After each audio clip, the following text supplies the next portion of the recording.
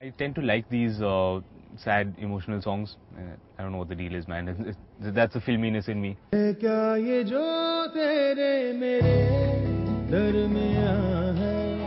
Little surprised then that the soulful Bin Tere from the soundtrack of I Hate Luv Storys is Imran's personal favourite.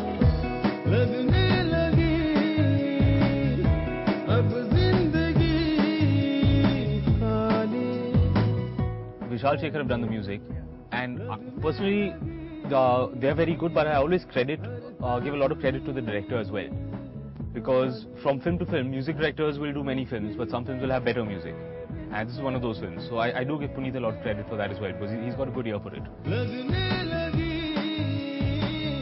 And director Puneet Malhotra isn't just getting credit for the music, he's also getting credit for bringing out a lot of Sonam in her character Simran. Puneet met me and we've had a lot of readings and stuff like that, he's he's like added a lot of stuff from who I am as a person to it, which is kind of like crazy and I get like really irritated to say that. I wouldn't say that. He's like, but you said that three days ago.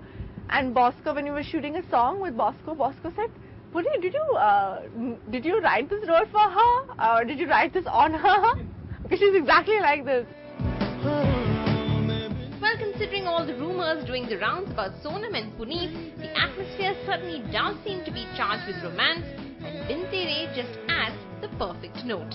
In Mumbai with Anisha Baig, Beverly White for NDTV.